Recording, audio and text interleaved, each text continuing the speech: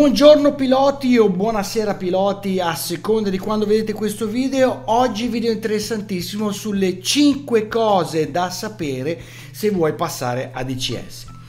Perché di questo video? Beh, per due motivi fondamentali. La prima è che in questi giorni ci sono dei saldi per quanto riguarda l'ennesimo saldo per quanto riguarda Digital Combat Simulator eh, che ti fa provare gratuitamente tutti i moduli e poi eventualmente se li vuoi acquistare tutto ti costa la metà.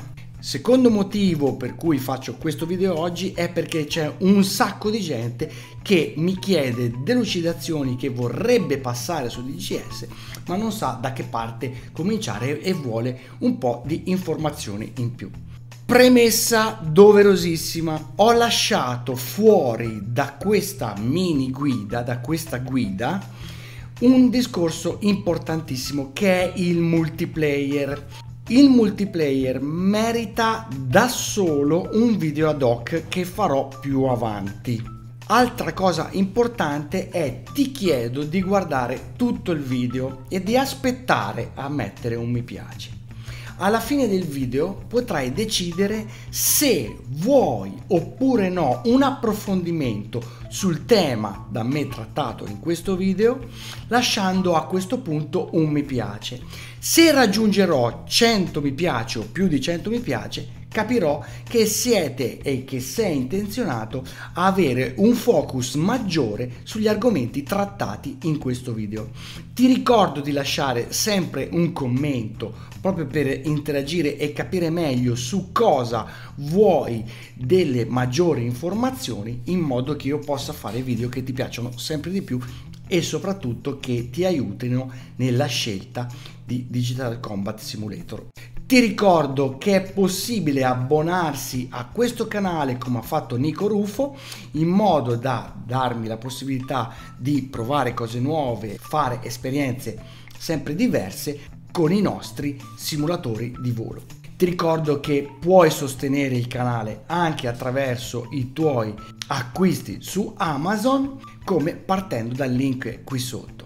Infine ogni mercoledì e ogni domenica la diretta Twitch appunto sul canale Twitch Lorei. Bene, detto questo direi che è il momento di cominciare, ma prima come sempre sigla!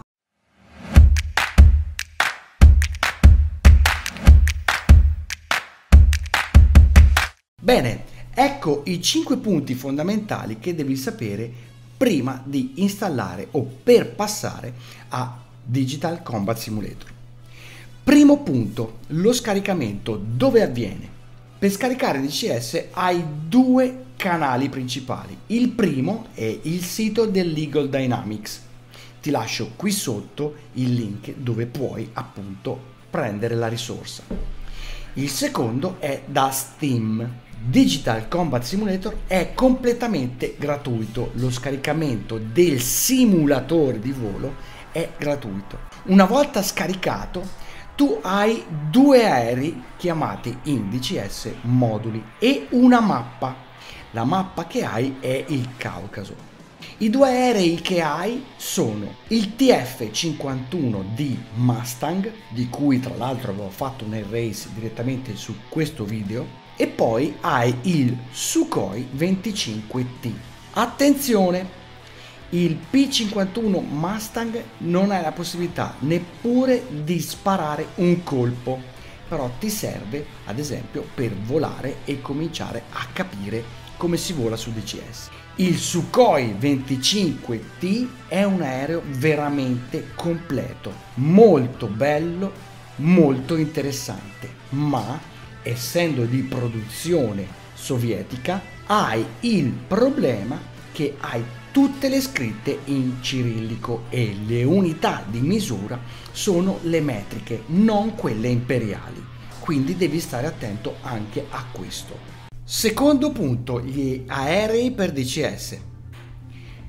Come ti ho detto precedentemente, gli aerei per DCS sono chiamati moduli e sono anch'essi scaricabili in due canali. Il primo, come sempre, dal sito ufficiale di Digital Combat Simulator, il secondo attraverso Steam.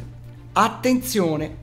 Se tu hai scaricato DCS da Steam, non puoi prendere gli aerei dal sito e viceversa. Cioè, quando tu scarichi DCS da Steam, devi continuare a scaricare tutto da Steam. Non puoi acquistare dal sito. I moduli sono di due tipi. Ci sono dei moduli prettamente, chiamiamoli arcade, cioè non completamente cliccabili, non hai tutto il simulatore, hai soltanto gli strumenti e le funzioni principali, non hai tutto. Ci sono però poi moduli invece che sono completamente cliccabili, che sono completamente sviluppati, anche se in questo periodo ce ne sono tantissimi in early access. Come si fa a distinguere se un modulo è completamente cliccabile oppure no? In maniera estremamente semplice dal prezzo. Prendiamo ad esempio la 10. La 10 ha due versioni, la 10A e la 10C. La 10A costa meno ed è il modulo più arcade la 10C invece è il vero e proprio simulatore. Sono moduli arcade ad esempio attualmente l'F15, il Sukhoi 33. Sono moduli invece completamente cliccabili l'F16, l'F14, l'F18 e anche altri aerei che tu vedi con una fascia di prezzo più elevata rispetto agli altri. Esistono anche moduli free. Io te ne consiglio due uno di produzione italiana e un altro no. Il primo modulo che ti consiglio è una vera e propria mod, la trovi all'interno delle frecce tricolori virtuali ed è l'MB339, aereo training e aereo molto bello, ottimamente sviluppato. Avevo parlato anche con le frecce tricolori virtuali direttamente in questo video qui. La seconda mod che ti consiglio è la 4E. Trovi il link qui sotto in descrizione e ti posso garantire che è un modulo ottimamente realizzato e che ti permette anche di atterrare sulle portaeree in quanto ha il gancio. Veramente un modulo ben sviluppato, ben fatto. Terzo punto, gli scenari. Quando scarichi Digital Combat Simulator, tu sei in uno scenario, hai quindi una mappa. La mappa che hai è la mappa del Caucasus. La mappa che è al confine fra la Georgia e la Russia, una zona molto vasta sulla quale puoi volare tranquillamente perché ti viene data già di default per Digital Combat Simulator, per DCS. Presto uscirà una nuova mappa gratuita questa mappa sarà Mariana Island. Io non so quando uscirà, comunque ne avevo parlato in questo video qui.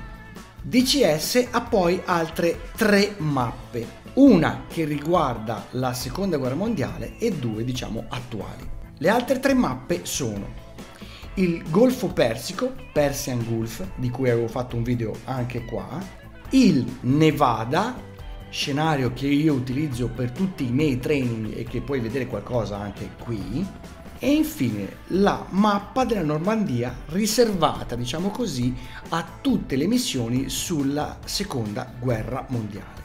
Attenzione anche qui prestiamo attenzione a una cosa.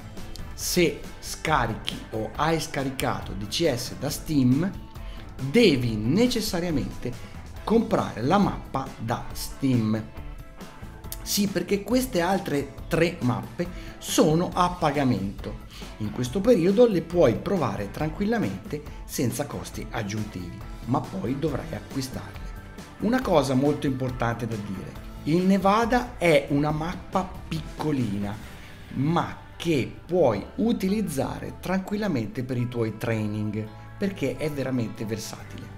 Il Golfo Persico invece è una mappa molto grande, molto bella e ottimamente realizzata, ma ha pochissime montagne e tanto mare. Punto 4. La portaerei. Come hai visto su Digital Combat Simulator ci sono aerei imbarcati, tra cui l'Harrier, tra cui l'F4 di cui avevo parlato prima, tra cui l'F18. Più gli aerei russi che atterrano sulle portaerei. Su Digital Combat Simulator quindi ci sono le portaerei, puoi mettere le portaerei sia che queste siano sovietiche o russe, sia che queste siano americane. In questi giorni sta per uscire una portaerei nuova che sarà un modulo a sé e anche questo sarà a pagamento.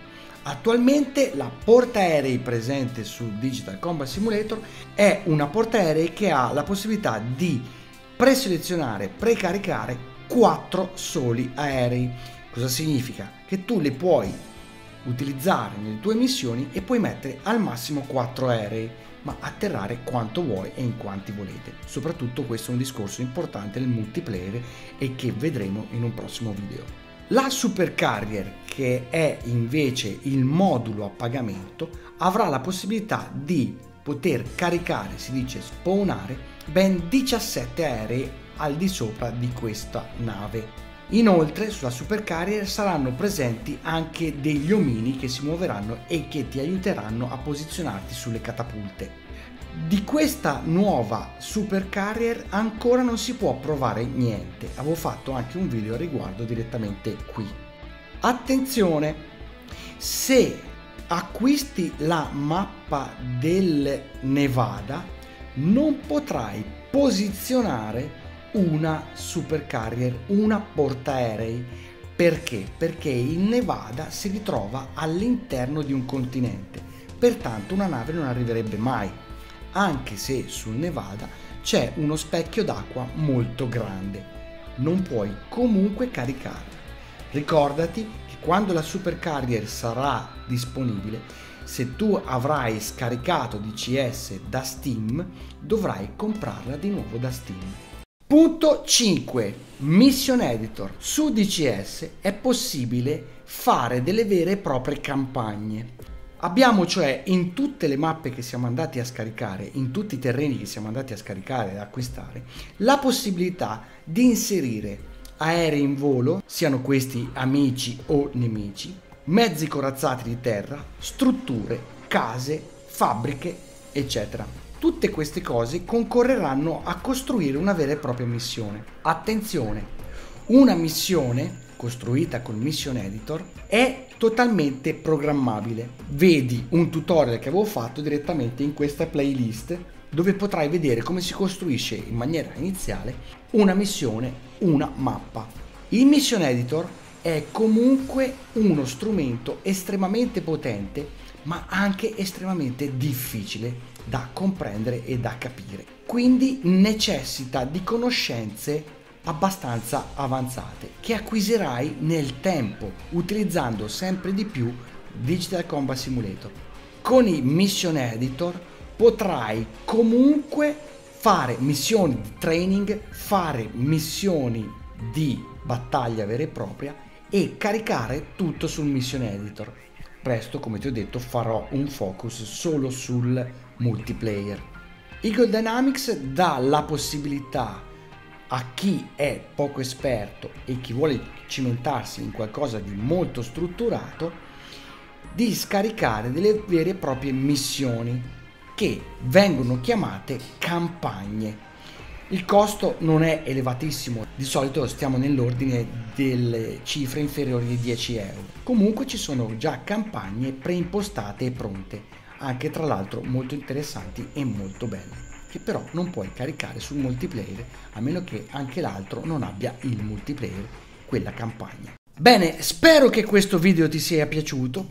Ti ricordo che se vuoi un approfondimento di tutto quello che io ho detto oggi, lascia un mi piace. Se raggiungerò i 100 mi piace o passerò i 100 mi piace, allora farò un focus su tutto quello che ho detto. Ti ricordo di lasciare i commenti qui sotto in modo da poter interagire e aiutarmi a fare contenuti che ti piacciono sempre di più. Bene, anche per oggi è tutto. Happy Landings by E-Live. Ciao!